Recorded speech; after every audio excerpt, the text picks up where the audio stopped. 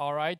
We've talked so much about data today, and uh, we needed a proper session on how to actually deal with the data flow in the fashion industry. So I would like to invite up on stage now David Thunmarker, Senior Advisor for Impulso, and Daniel Di Benedetto, Regional Director, Euronorth for Centric Software. Round of applause. And as you can see, we all read the same memo of the Yeah, even the same beard, actually. Yeah. Impressive. We need to mix it up maybe. Um, There you go. Um, I'm so excited about this session because we're gonna deep dive into the whole issue of data. We've touched on data, we've talked about data, need for data, there is data, what are we doing with the data? Let's try to find a way to define this for the fashion brands and try to see how we can uh, uh, move forward a little bit. Uh, David, I think I should start with you because you are now working together with the Impulso, which this data upstart, but you have an experience working with fashion brands, um, as the CEO of Tiger of Sweden for many years and then Oscar Jacobson. So I thought maybe you can, from from that perspective, not the data side first, but we've talked about defining the problem.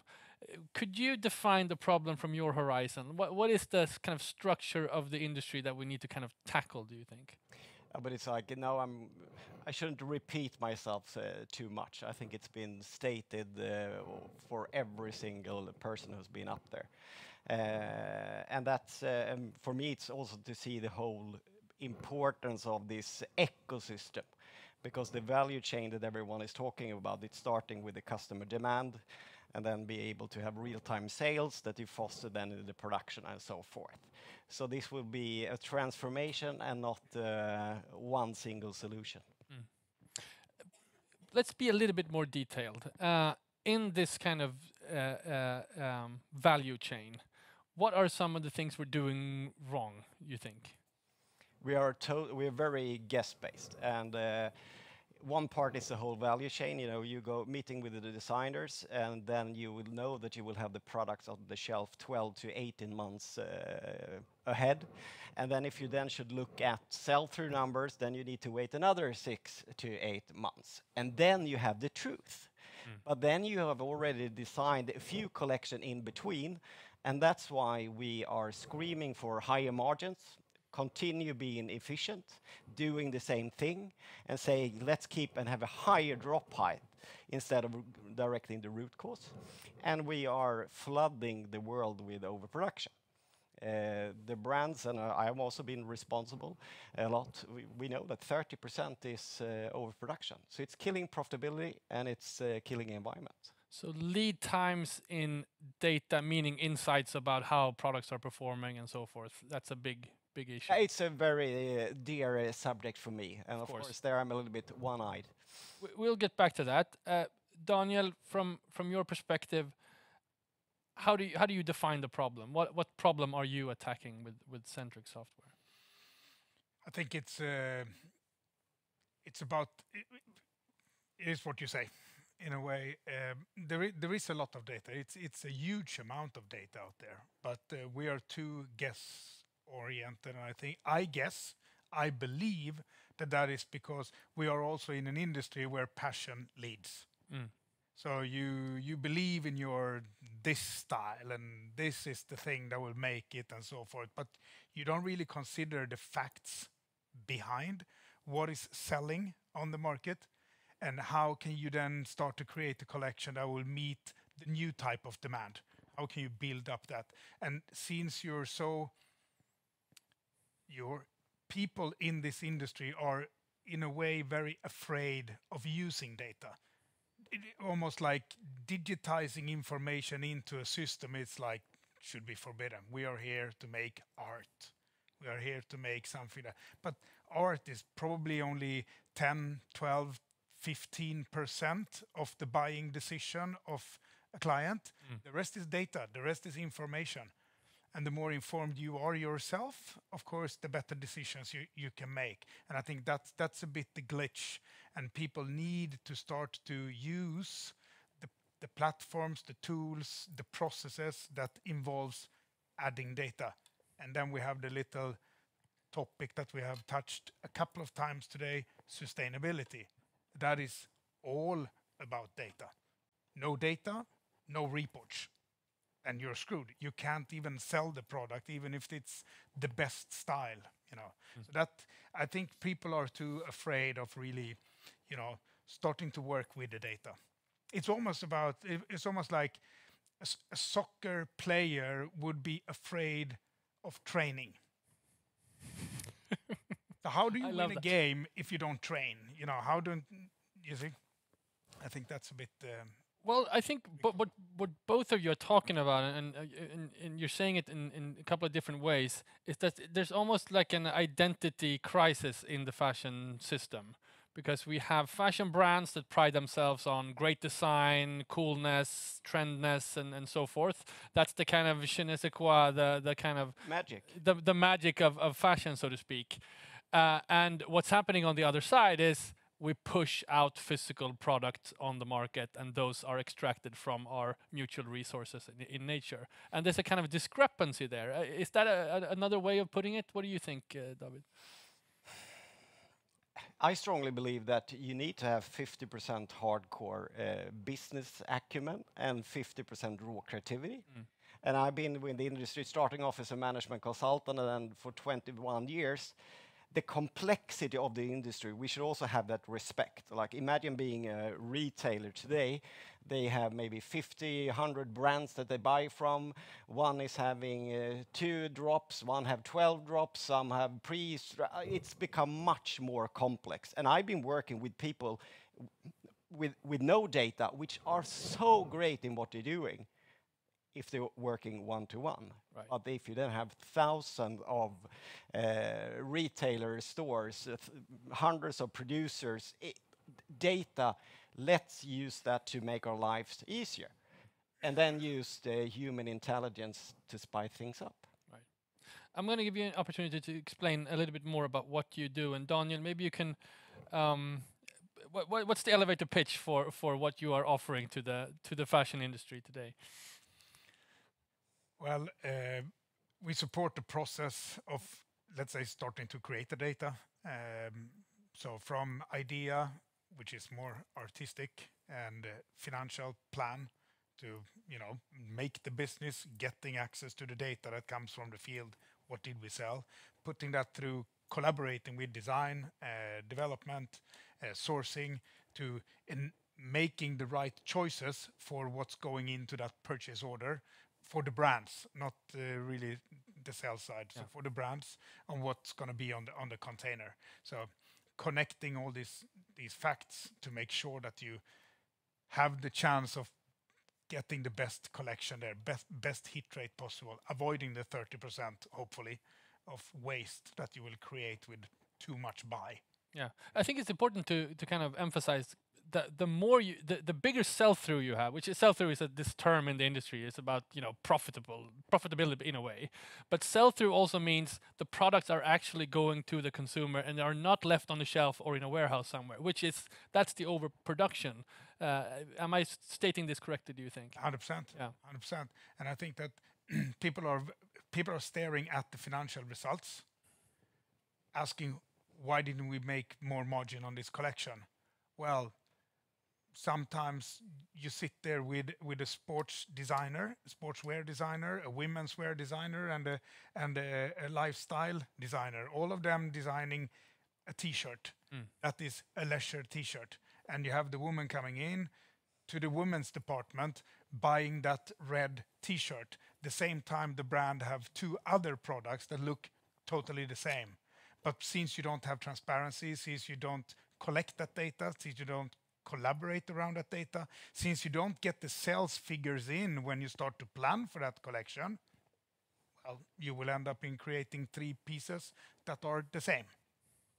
So essentially, instead of just starting from scratch with a new collection, you, you get some kind of information, some input from um, of, of what has happened before.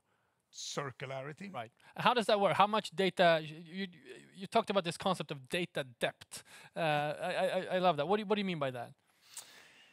Uh, I spoke to yeah somebody here in, in the group uh, about um, the, silos that we are creating also when working with the data.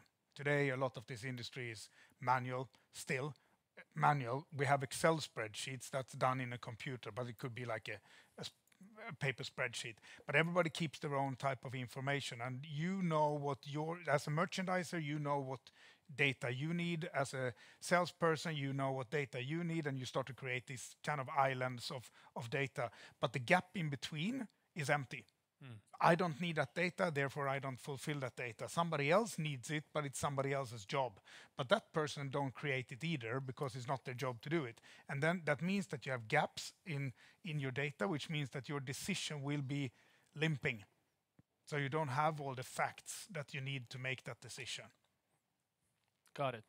Um, David, Impulso is working you have a similar uh, uh, kind of language around data, I think, which is why I wanted to put you in the same uh, panel. But you're working in a, different part of the, of the value chain. Maybe you can describe what Impulso is doing in terms of sharing data and creating new new data transparency.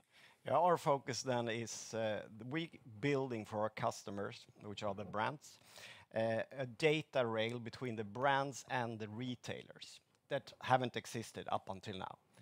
Uh, and by doing that, uh, you are able to track, structure, and share sales and inventory uh, data in real time.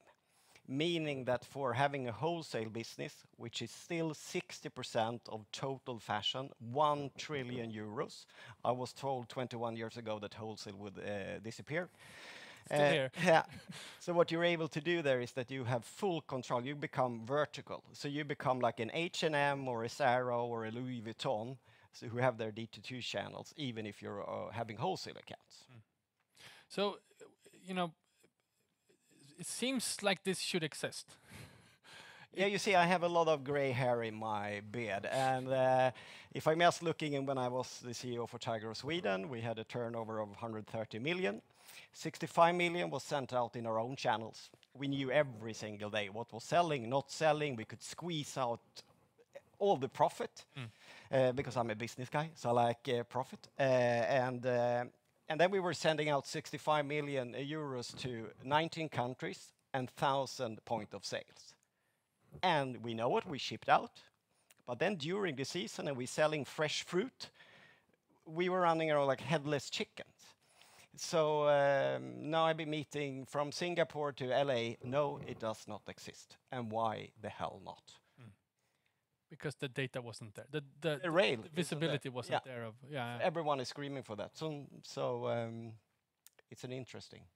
Let's talk about Im implementation. And um, sometimes when I describe the, the what I perceive as the kind of issues with the fashion industry to someone who doesn't work in the fashion industry, works in other industries, they are sometimes like just appalled by the the kind of amount of waste we're allowed to produce and the inefficiencies in the value chain and so forth. Um, and when I hear uh, companies like yourselves and other has been on the stage and, and, and, and also other other tech suppliers, it strikes me that it doesn't sound like it's rocket science in terms of the technology. It sounds like the technology is pretty straightforward. We don't need, at least not yet, super complex AI systems. So it seems to me that it is the implementation of technology that that is the kind of crux of things here. And I think we've been on to it in, in previous sessions as well. You as tech providers to the fashion industry, can you feel this as well, or am I exaggerating? Is it uh, uh, is it an issue explaining to fashion companies what it is you want to sell and how you want to help them? Uh, Daniel. I think there there, there are um, differences between the companies. I think the companies that have more defined processes across the business mm. for them it's much easier to deploy and implement and also de deploy and understand the meaning behind a, system that will systematize the chaotic way of creating creating styles, meaning entering data to feed the downstream parts of, of that process. The the more, let's say, artistic freedom you have in these organizations, which is still very important because you need to create that relationship with your customer, identity of your product that you create. But the more artistic freedom you have and the more you neglect the fact you need data, the less processes you normally tend to have as well. Oh, which yeah. means it's very difficult to or shoot from the hip type of Yeah. So organization. wh- why, why do you implement this? I don't need it. you Right. know? Um, and then you create yourself obstacles for it instead of seeing it that as actually help, aid to to be more efficient and be more be even more creative because you don't waste time in doing stuff that, that you haven't that you don't need to do. Mm. I think it's that process connection really. David, what's been your experience? No, I don't think anyone going to work and say that today my goal is to be very mediocre. Uh, uh, so, uh, uh, but what I'm feeling if I look in from my field there is that uh, everyone has, going back a few years, everyone thought that the data they had was the gold mine. And everyone was keeping that, I wouldn't share it, and very linear thinking. But now uh, people are seeing much more that we are, it's not a linear thing, even in wholesale. If I'm Tiger Sweden as a brand selling something, I will sell to that uh, customer and you need to loop back information. And I think the industry is more like, yeah, please help me. Where should I start? So I think uh, both totally tech people or people with a mixed background needs to help hold the people's hands and take the steps. We've talked before in another session that it, the you know attacking some of these issues is uh, uh, uh, uh, something that fashion brands has to do with many different disciplines within the the, the the the organization. The whole leadership team, maybe people responsible for distribution, design, so forth. So You can't really implement these things um, uh, with one person. You can't delegate to one person saying solve this. Uh, how how does that work? Because that's got to be a kind of a I don't know if it's a frustration, but at least a challenge for uh, companies like yourselves talking to the fashion brands. Yeah, but for me, then it's like, yeah, but it's, everyone wants to get their products to the end consumer, uh, and everyone wants to have the right product at the right time to the producer. And even the most creative people, if you look at it, starts with sales numbers. Even the most creative designers, they are like, if I can get data on what's selling and not selling in real time, I can spend uh, 100% of my creativity of uh, 40% of the collection. So it's it's the it's the whole value chain. It's it- it's about to understand how this data is used here and now, but also for next planning and so forth, because it's not that complicated. We see demand, we produce something, we ship it out in different uh, sales channels to reach an end consumer. Uh, but it's uh, away with the silos. That's super super important. Yeah, and I think that on that value chain, you, you what you lack is when you don't have access to the data and you don't connect that data, you lack the possibility to make the right decision. What will land uh, at that consumer Right. to be attractive? So um, And as we talked when you with Noms and uh, Son of a Tailor, it comes like if you don't have the real-time data, what should you feed into the production process? And based on that, you can you put the demand on how you become more efficient. And people don't change. Everyone is lazy. I'm s- lying at every interview when I uh, apply for jobs. Yeah, I'm open to change. Maybe if I do it myself, but if it, but if it starts to but if it starts to hurt, which it in this perfect storm right now, I don't earn money, then people change. Daniel, uh, when you speak to, to, to your clients and you will reach out to new companies, um, what are the things you feel like you have to explain to them the most or educate to them the most? Uh, is it like you need to think more uh, long term or you need to, to think more uh, holistically about doing this or you need to engage the whole uh, company? uh, traditionally, people come to us because we are in the earlier phase of the of of the whole process. Um, with, a, for instance, a sustainability question. How do I? How do I? We have TrusTrace here up uh, on stage earlier as well. How do I get hold of that data so I can put that into my bill of material really, and it becomes very technical. But I think again, it's always it's the later in the process you start to organize the data, the less good decisions you make.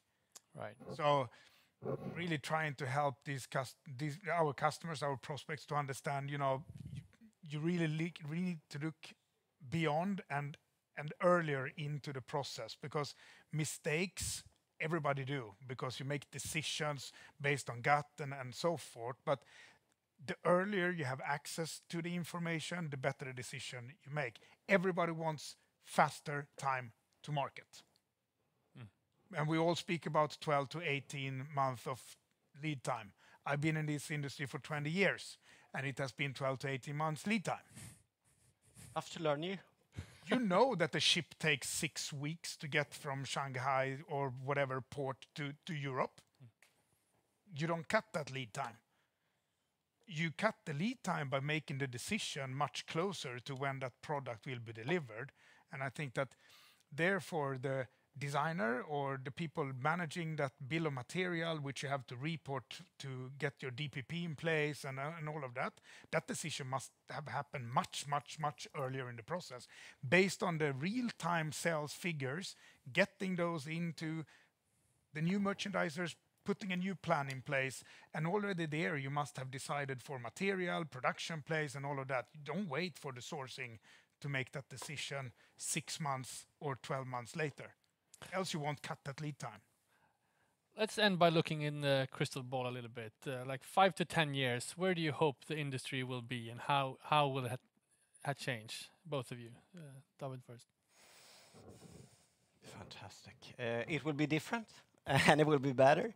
Uh, I think we will have uh, much more of a network and ecosystem. Uh, the silos will go away. I hope that we will see the end consumer is in focus brands being totally agnostic about in which channels they'll sell, and the production getting much more closer. I think we will have much more interaction of actually when you get out products in the system, it's not only you yourself that you sell it, you will actually cooperate with other retailers, you will have endless aisles to the brand's inventories, to make it much more faster. Because as you said, it's like I haven't seen anyone who have the data, and then we sit there and say, ah, we produce, we should produce 200 SKUs, but ah, let's do 4 million.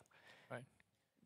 You do it because you don't have the data. So network, uh, holistic ecosystem, fluffy as hell. Daniel, five to 10 years? Uh, nobody have been speaking about AI and I think that is also because of what we started this discussion with. We are afraid of data. I think that AI will help a lot of people to create the bill of materials, to create that all that data entry that we don't want to do. But somebody needs to do the, the pre-work. So AI will help a lot in a lot of work that we don't do today because we don't want to do the job and we are then having the depth in the data to make the right decision. I think that is one. And then two, I think because of the the world, how what what's happening, it's not because of sustainability, etc.